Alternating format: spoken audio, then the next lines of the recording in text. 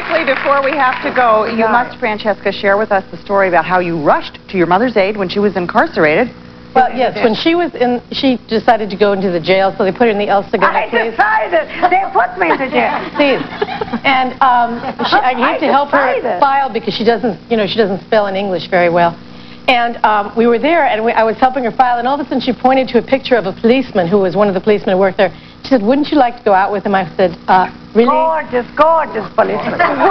But see, my thing is that I like guys not just what they look like, but they have to be nice inside Well, how too. did you know he was uh-huh. nice? You never met him. Well, well, anyway, anyway, I just wanted to say in closing that I have five wonderful Tennessee walking horses, and I really do love my mother, despite the fact that she never lets me say anything.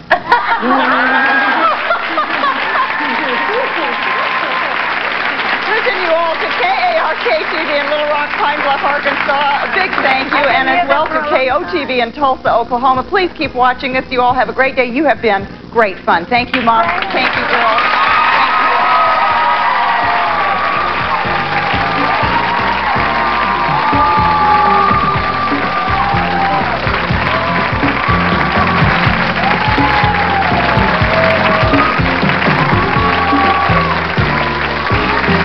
Suzanne may have lost her money, but she's still got her pet pig and a case full of crowns. Designing Women today at 3 on Channel 5.